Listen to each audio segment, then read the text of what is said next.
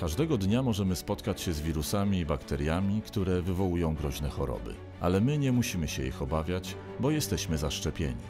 Szczepienia chronią nas jak te specjalne kombinezony. Chronią też tych, którzy nie mogą lub boją się je założyć. My, Polacy, szczepimy się od lat i tworzymy wspólnotę zaszczepionych. Dbajmy o siebie i tych, którzy potrzebują naszego wsparcia.